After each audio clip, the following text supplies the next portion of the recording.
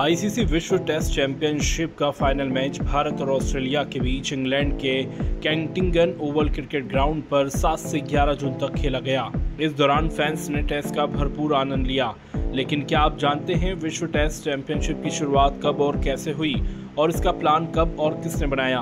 अगर आप नहीं जानते हैं तो आज हम आपको इसके बारे में ही बताने वाले हैं। तो आइए विश्व टेस्ट चैंपियनशिप के पूरे इतिहास पर नज़र डालते हैं। आईसीसी टेस्ट चैंपियनशिप की शुरुआत अगस्त 2019 से हुई थी। इसका पहला मैच इंग्लैंड और ऑस्ट्रेलिया के बीच खेला गया था। डब्ल्यू का पहला मैच एशिया सीरीज़ के तहत खेला गया था। साल 2019 से लेकर 2021 तक नौ टीमों के बीच घमासान हुआ। इसके बाद 18 से 23 जून 2021 के बीच भारत और न्यूजीलैंड के बीच विश्व टेस्ट चैंपियनशिप का पहला फाइनल मैच खेला गया।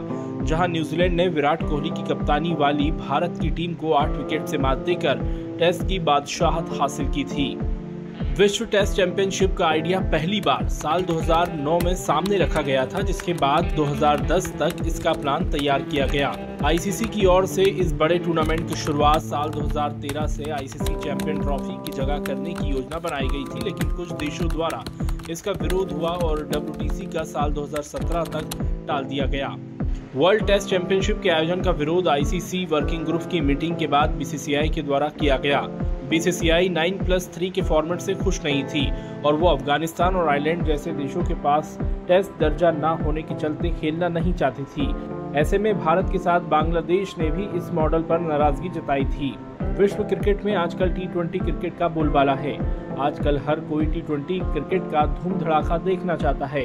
ऐसे में आईसीसी की ओर से पहले से ही अनुमान लगा लिया गया था कि आने वाले समय में फटाफट क्रिकेट को भी फैंस पसंद करने वाले हैं। ऐसे में दूर की सोच रखते हुए साल 2009 में ही आईसीसी ने वर्ल्ड टेस्ट चैंपियनशिप की योजना बनाई। इसका उद्देश्य टी क्रिकेट के जमाने में टेस्ट क्रिकेट को बनाए रखना था।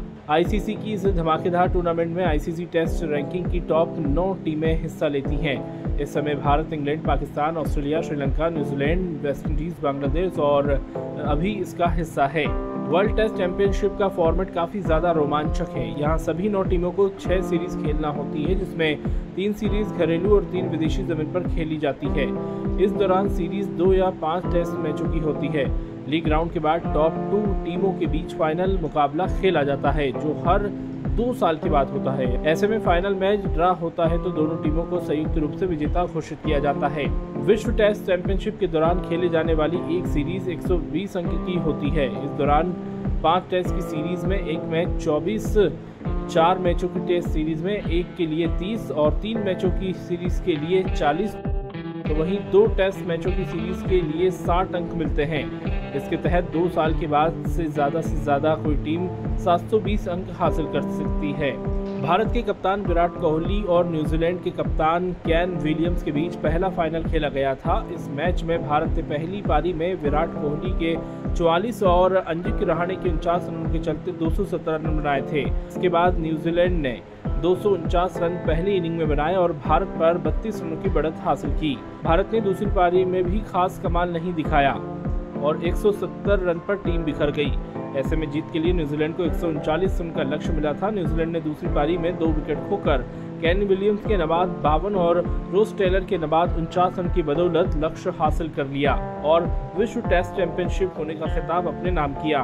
और इस बार भारत और ऑस्ट्रेलिया के बीच विश्व टेस्ट चैंपियनशिप का फाइनल हुआ, जिसमें ऑस्ट्रेलिया ने जीत दर्ज की।